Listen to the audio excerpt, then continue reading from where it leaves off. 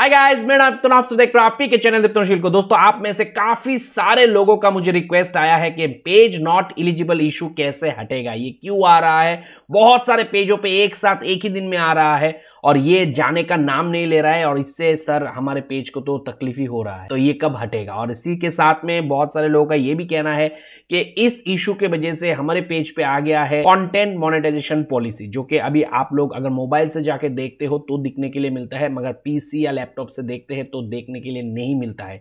इसलिए मैंने स्क्रीनशॉट लिया है ताकि आप लोगों को पहले एक्सप्लेन कर दूँ। ये इशू आ रहा है जिसके वजह से मोनेटाइजेशन का हर एक क्राइटेरिया कंप्लीट होने के बाद भी मोनेटाइजेशन जो है, हम कर नहीं पा रहे इंस्ट्रीम एड से। और साथ में ये हो रहा है, आप लोगों ने ही मुझे कारण बताया है पेज नॉट इलिजिबल आने के बाद से। तो ये इशू नहीं हटेगा तो फिर पेज इलिजिबल रहते हुए भी मोनेटाइज नहीं होगा। यही आपका कहना है। तो दोस्तों, ये जो अभी पेज आप लोगों के सामने है, इस पेज का भी कुछ इसी प्रकार का इशू आया है। और यहाँ पे लिखा हुआ है our technology determine that we can't approve this page right now तो यहाँ पे आप लोगों ने कहा है कि फेसबुक खुद ही तो कह दे रहा है कि होना नामुमकिन है सर। पहले हमें हमारे पेज से पेज नॉट एलिजिबल हटाना है, तभी फेसबुक कह रहा है मोनेटाइजेशन देगा। और यहाँ पे लिखा हुआ है keep sharing content that follow our partner monetization policy and apply again later इसका क्या माजरा है सर? ये कैसे जाएगा? कॉन्टेंट मोनेटाइजेशन पॉलिसी से कैसे हम लोग मुकाबला करें? दोस्तों, यहाँ पे सबसे पहले आप लोग एक चीज़ देखो। भले वो टूल से अगर ये पेज मोनेटाइज है, ये मोनेटाइजेशन डिजेबल नहीं हुआ है। यहाँ पे भी ग्रीन टिक है, यहाँ पे भी ग्रीन टिक है। यानी कि ये दोनों मोनेटाइजेशन टूल जो है, वो पेज मोनेटाइज है। इशू आने के बावजूद भी मोनेटाइजेशन को बंद नहीं किया है फेसबुक ने। अब अगर रिसेंट वायलेशन पे क्लिक करें तो यहाँ पे आप देख सकते हो नो मोनेटाइजेशन वायलेशन यानी कि पेज पे दरअसल कोई भी पॉलिसी वायलेशन नहीं है। और जैसे कि आप लोग कहते हो ओवरव्यू पे जाके आप लोगों को दिखा देता हूँ कि आप कहते हो इलिजिबिलिटी पे जाके अगर इन स्ट्रीम एड को चेक करें पीसी लैपटॉप से या डेस्कटॉप से तो यहाँ पे दोस्तों सिर्फ़ तीन ही पॉइंट दिखता है। एक तो एक्टिव वीडियो का, दूसरा इलिजिबल मिनिट व्यूज़ जो कि मेरे केस पे भी कंप्लीट नहीं हुआ है। ये कंप्लीट हो जाएगा तो ये भी ग्रीन हो जाएगा। और फॉलोअर हंड्रेड परसेंट कॉम्प्लीट है। और यहाँ पे जो मोबाइल डिवाइस पे हम देखते हैं इसी चीज़ को तो हमें यहाँ पे ज़्यादा ऑप्शन दिखाता है। सिर्फ़ फॉलोअर नहीं, सिर्फ़ मिनट व्यूज़ नहीं और सिर्फ़ एक्टिव वीडियो नहीं, साथ में ये दो चीज़ भी दिखाता है। Your reside in eligible country तो हम इलिजिबल कंट्री पे तो रह रहे हैं। फिर नो पेज नॉट इलिजिबल क्यों दिखा रहा है? तो ये मोबाइल से पता चलता है, जैसे मोबाइल डिवाइस से ओपन करके देखते हैं तो बताते हैं कॉन्टेंट मोनिटाइजेशन पॉलिसी और जैसे ही डेस्कटॉप पे आके हम लोग चेक करते हैं या लैपटॉप से चेक करते हैं तो यहाँ पे तो दरअसल कोई पॉलिसी इशू नहीं दिखाता है। कोई भी partner moderation policy content moderation policy issue नहीं दिखाता है।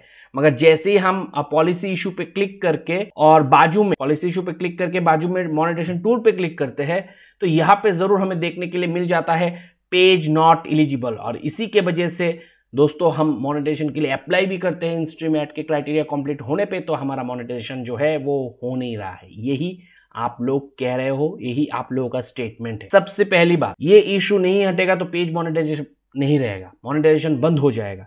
तो ये ऐसा होता नहीं। ये दरअसल दोस्तों अभी नया नया इशू आया हुआ है और साफ़ साफ़ देख सकते हो, ये फेसबुक के टेक्नोलॉजी डिटरमाइन करते हैं। यानी कि टेक्नोलॉजी को लगता है फेसबुक का एआई को रोबोट को लगता है एल्गोरिदम को लगता है कि आपके पेज पे ऐसा कुछ है जो कि इलिजिबल नहीं है। इसीलिए पेज नॉट इलिजिबल कर देता है और फेसबुक कहता है, आने वाले समय पे आपके पेज को अप्रूव नहीं किया जाएगा, जिससे आप लोग परेशान हो। मगर यहाँ पे ये नहीं कहा गया है कि ये इशू आने पे आपका मोनेटाइजेशन को हम बंद कर देंगे, रद्द कर देंगे। अगर ऐसा होता तो यहाँ पे ये जो अभी देख रहे हो मोनेटाइजेशन एबल है मोनेटाइजेशन एबल है ग्रीन टिक है वो नहीं होता। तो इससे हमें साफ़ साफ़ पता ये चल रहा है, ये दरअसल हो सकता है, एक ग्लीच है, एक एरर है, एक बग है, जिसका कोई असर हमारे पेज पे हो नहीं रहा है मोनेटाइजेशन तो इसका एक जीता जागता उदाहरण अब मैं आप लोगों को देने वाला ये देख सकते हो, इस पेज पे भी सेम इश्यू आया हो और यहाँ पे आप देख सकते हो इंस्ट्रीमेट से पेज मोनेटाइज है ग्रीन टिक है सब्सक्रिप्शन से मोनेटाइज है ब्रांडेड कंटेंट टैगिंग से मोनेटाइज है स्टार से मोनेटाइज है।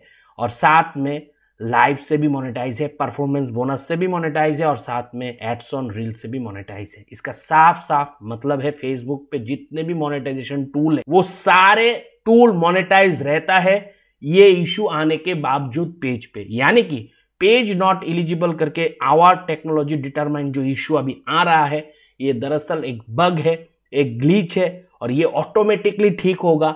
हम कुछ भी करके इसको ठीक नहीं कर सकते मैक्सिमम जो हम कर सकते हैं, एक रिपोर्ट कर सकते हैं फेसबुक को, उस रिपोर्ट के ऊपर फेसबुक देखेगा तो ज़रूर इस इशू को जल्द से जल्द ठीक करेगा। मगर ये रिपोर्ट होना पड़ेगा बल्क पे और बल्क पे चीज़ों को करने के लिए आप सभी का एक रेस्पॉन्सिबिलिटी बनता है कि आप लोग रिपोर्ट करो।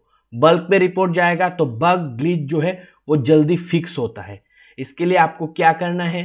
पेज पे जाना है सेटिंग पे जाना है हेल्प एंड सपोर्ट पे जाना है और फिर रिपोर्ट पे क्लिक करके रिपोर्ट करना है। सिंपल तरीका है। फीडबैक देना है फेसबुक अगर दोगे तो ये इशू ठीक हो जाएगा। ऊपर से पेज नॉट एलिजिबल आने की वजह से आपके पेज के मोनेटाइजेशन पे कोई इफ़ेक्ट नहीं पड़ता है। अगर पड़ता तो अब तक ये पेजों का मोनेटाइजेशन रद्द हो जाता। ये पेज जो है पैसा इनकम नहीं करता। मगर ये पेज अच्छा खासा रेवेन्यू जनरेट कर रहा है। डेली बेसिस पे अर्निंग हो रहा है।